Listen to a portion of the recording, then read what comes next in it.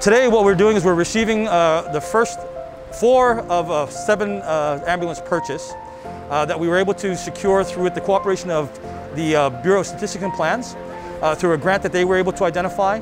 And so we were receiving these medics today and it's in perfect timing because actually on this past Friday, one of our medics went down for maintenance.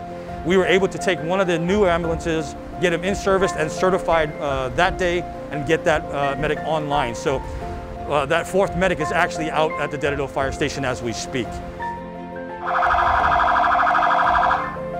Yeah. So this, this couldn't be more timelier. To be able to get us to put these out on the street, take those, the aging fleet, bring them in and provide that maintenance and that, that uh, the attention that it's been, been needing is huge.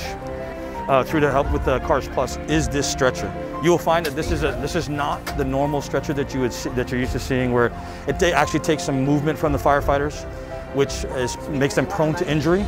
This is all powered now so that they don't have to rely too much on, on them actually physically lifting. They can utilize the, the electronics, uh, the electric uh, lift on this. What it means to have these ambulances, it's, it's a great, it means a great deal because um, it definitely will help our, our response time um, to people in need. Uh, we average about 17,000 runs annually and COVID enhanced our runs like drastically, so having these, uh, these new ambulances will help out with that. I would like to say thank you very much to BSP and Mr. Tyrone Taitano and his staff for making this come true for us.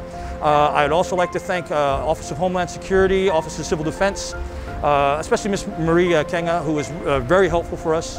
Uh, and of course the GSA with Claudia and her, her staff down at GSA. Uh, once we finish up here, these medics will be going down to the maintenance shop. We will be doing all of the transferring of equipment. Then we will be taking it down to uh, Office of EMS so they can get certified and then they will get assigned this afternoon.